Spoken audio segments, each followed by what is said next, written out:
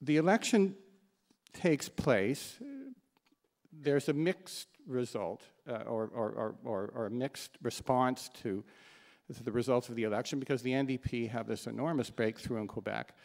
Uh, but nevertheless, uh, the Conservatives have a majority. And um, people quickly forget, I think, the puzzling um, results of the election, given the fact that the polls didn't predict anything like the outcome that arrived.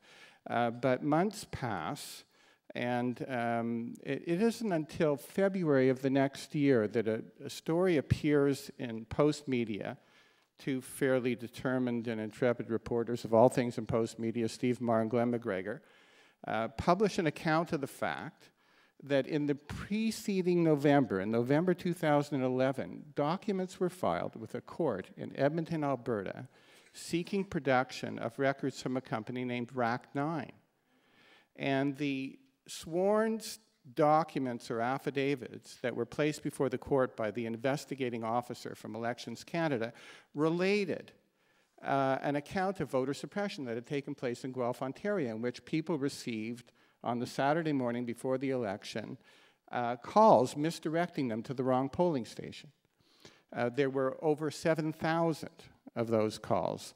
And so we learned for the first time, this is 10 months after the election takes place, that somebody tried to uh, steal the democratic franchise uh, of Canadians, at least in the riding of Guelph, Ontario.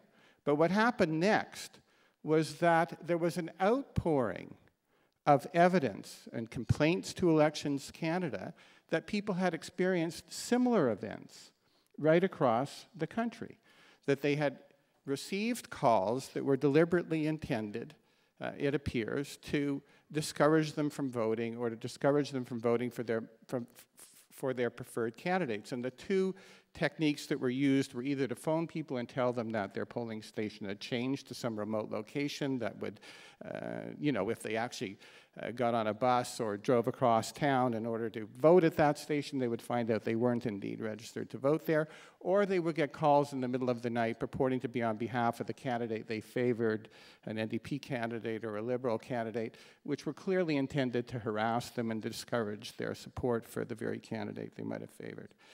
Um, and so that, um, that is uh, what we begin to discover uh, about the election of 2011. Uh, 10 and 11 months later, there are 30,000 complaints that are filed with Elections Canada in the few weeks following the revelations of February 22nd. And of those 30,000 complaints, 700 at the time alleged specific incidents of voter suppression that people um, who are making the complaints kind of relate uh, of events that happened uh, during that election. Now, um, I want to give you a little um, uh, course in, in law because, um, in part, I think you know the stuff is very accessible. You don't have to be a lawyer to kind of get it.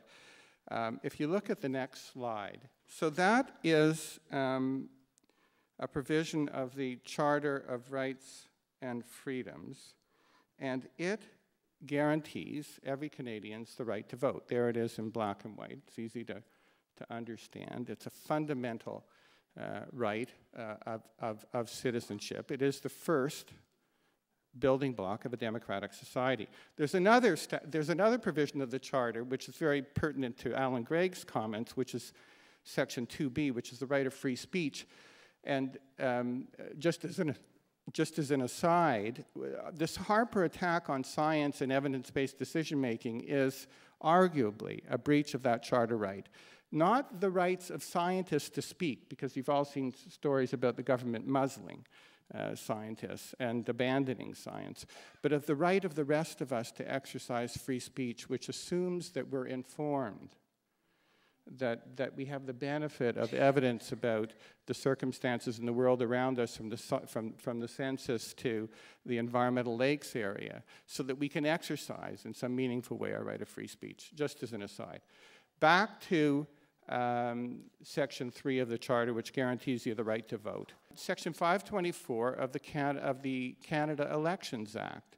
That empowers any person eligible to vote in an election with the right to go to court to enforce their right to vote if in some manner it has been taken from them. If they've been um, the victim of some attempt to defraud uh, or engage in an illicit practice, which has somehow infringed your right to vote. So you have the right to vote under the Canadian Charter of Rights and Freedoms, and then you have uh, the right to enforce that right to vote if you believe that something untoward has happened in an election that's deprived you of it. This is the authority that a court has to actually annul the results of an election if um, the court is persuaded that, in fact, uh, an individual's democratic franchise has been um, uh, removed from them by virtue of deceit or corrupt or fraudulent practice. And it is this provision uh, and the preceding one, 524, which we invoked uh, in order to challenge the outcome of the election in seven ridings across Canada. And by we, I mean uh, electors in those ridings uh, who experienced voter suppression uh, during the May 11th election and took advantage of their right under the law to go to court to get a judicial ruling that would annul the results of the election uh, in their ridings because of the fraudulent practices that they believed uh, had taken place during the May um, 2011 election. Um, now, their cases are being supported by the Council of Canadians. It's extremely expensive and difficult to litigate these issues. Uh, they're utterly beyond the capacity of, uh, of, of, of, most of us. You'd have to be extremely wealthy as an individual to take up your rights uh, under the law in Canada. Uh, and so uh, it was, it's with the benefit of the Council of Canadians and its fundraising campaign. It doesn't have a budget for this. Uh, but it's gone out to Canadians and it's gone out to the labor movement and it's raised uh, quite a bit of money in order to support the costs of, of litigation. Um, in support of the applications that were brought, we hired Frank Graves, who is the principal at EKOS Research. And um, he conducted a survey of um, uh, electors in the seven ridings we were contesting, 5,000 electors in each of those ridings, and then to test the results that we were getting from um, uh, people in those ridings when we asked them or when they were asked, well, you know, did you get a call indicating that the location of your polling station had changed? Did that affect uh, or did you not vote as a result?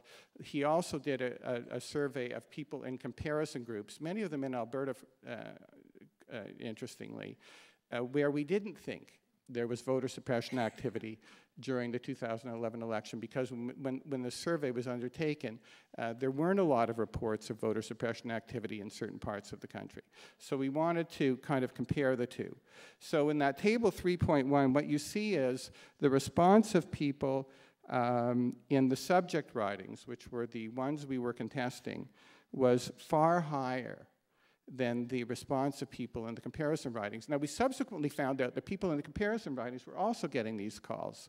Um, and so, uh, in a way, we satisfied our uh, principal objective, which was to demonstrate that there was targeting of these particular ridings, uh, uh, because there's a clearly statistically significant difference between the way in which people responded to these questions, depending on whether they were in the target ridings or in the comparison group.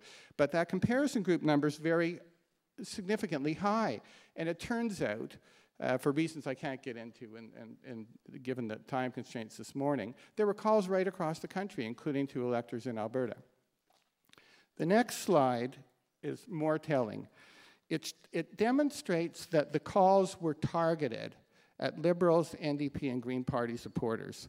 So if you look at, I, I hope you can see the, the lines there, but if you look at the third, uh, you know, set of bar charts, you see the NDP and then the Liberal and the Green parties. You see that 28% of the people responding to the survey who were NDP supporters, for example, uh, indicated that they got a call indicating that their polling station had changed. Now, you should know that there were no polling station changes in six of these seven ridings.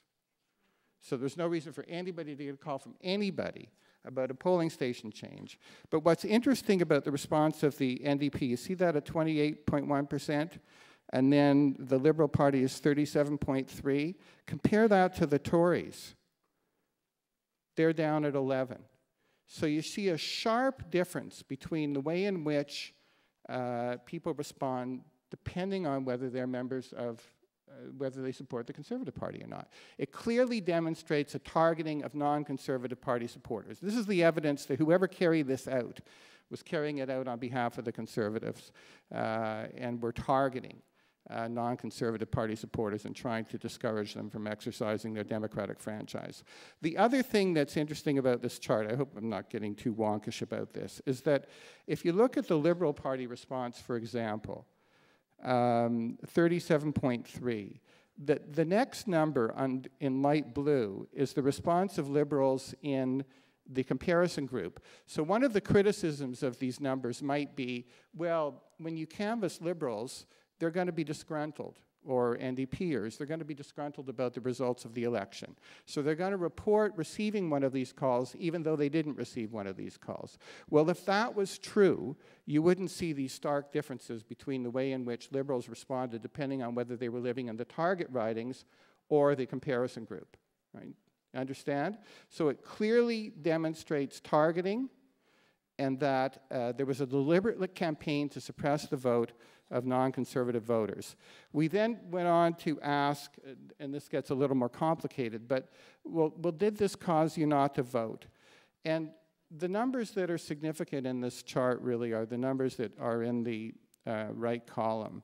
Um, because uh, Frank Graves' overall estimate, considering uh, this chart and a number of others which pull together responses to questions that were also designed to test the impact of these voter suppression techniques on, on electors. Um, you know, he arrived at the conclusion that somewhere between one and a half and two percent uh, of eligible electors um, were were discouraged from voting as a result of, of, uh, of receiving a voter suppression call. So that's somewhere between six, 700, 1,500, depending on the size of the riding electors in, in, in these uh, in the particular ridings that were targeted. Well, the margins in our ridings range from uh, dozens of electors to hundreds of electors. The results of the election in uh, of our seven ridings, I think in five or six, would flip, um, given that uh, the effectiveness of, of, of, a regime that, that discouraged 1.5% of the people from actually turning out to the polls. Um, I'm running out of time. I'm just going to um, um, give you a little taste of what it was like against, litigating against the Tories. They retained their uh, arch um, legal counsel, guy named Arthur Hamilton. Uh, they came running at us with one attack after the other, doing their best to prevent the case from even being heard by the judge. They attacked, um, they attacked Maude Barlow as being a wanton and officious intermeddler. Um, she had a button uh, printed up, I think, I think boats boasting about the fact that she was an officious intermeddler. Uh, they went after me personally. Uh, they just described this as a vendetta against the Conservative Party. They, gave, they brought a motion to have the case dismissed as frivolous and vexatious. They lost that motion and had to pay our costs. The next motion they brought was for an order for us to post a bond for security for costs in their favor for a quarter of a million dollars, which would have knocked the litigation back if it, it might have even uh, prevented it from proceeding. Um, they lost that and they had to pay our costs. They went after, um, they went after us for something called Champerty and maintenance, um, which was the notion that um, that uh, really this wasn't the these weren't the applications of the individual electors, but really the application of the Council of Canadians. That's still before the judge. We argued the cases in December. I thought we might have had a decision this week for me to relate to you. There may be one next week. The judge has to make three determinations. Was there fraud? Did it affect the result of the election, which legally means was one single voter deterred from voting as a result of the voter suppression that took place? And three, uh, given all of that, should I exercise my discretion as a judge and annul the results of the election? So watch for the decision that's coming soon. even if we don't succeed in persuading the judge to annul the result of the election, I have some hope that we, will, we have persuaded him that fraud took place during the election. I, the evidence is quite overwhelming and compelling. That would be a startling finding. The Tories will spin uh, the case as a victory for them uh, if results aren't annulled. But a finding that somebody engaged in a deliberate campaign to defraud Canadian electors is a startling conclusion for a court to uh, arrive at and one that uh, needs to be taken extremely seriously. Um, there will probably be an appeal to the Supreme Court of Canada. It's a very expedited process, and we'll probably get a decision by the Supreme Court um, uh, probably within the year. Um, I just want to um, give you a little bit more of a flavor of what it was like to litigate, litigate against it. Here's one of the letters that I get in, in the week before the hearing when I'm about to, I've, I've brought a motion to introduce uh, a bit of a gloss on Frank Graves' evidence, and I get this threat at 5 o'clock in the afternoon, and it says, you know, your motion is completely frivolous. If you don't agree to withdraw it and abandon the motion by 6 p.m. today, I think I had an hour and a half to do that, according to these guys, we'll be seeking costs against you personally, payable on a solicitor and client basis in addition to other remedies related to dismissal of the motion. So this was like typical, and they would serve me at 11 o'clock at night. So I composed this response. I have enjoyed the time since receiving your ultimatum more than I could have imagined. and, and would like, if I would like, if at all possible, to prolong the experience. would you then, as a courtesy, consider extending the deadline to 7 p.m so that I could savor the next 60 minutes just as I have the past 60 minutes.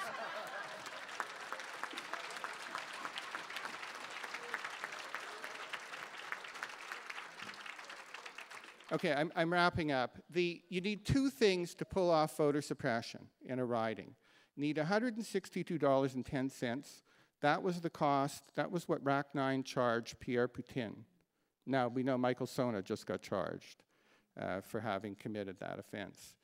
$162.10, 7,000 calls for that price. That's what modern technology delivers. And you need a list. You need a list of non conservative party supporters. You can't get that on the internet. That's the list. It's called the, the, the uh, Constituency Information Management System. It's the brainchild of Tom Flanagan. That's where the information to carry out voter suppression came from uh, political parties, and in this case, the Conservative Party has to be held to account for the use and misuse of that information. So we'll see what the court uh, has to say about that. Uh, one last thing, thank you very much for giving me an opportunity to tell you about the cases. Um, I, I, mean, in all of the assaults that he's launched, this is, has to be considered the most serious. Thank you.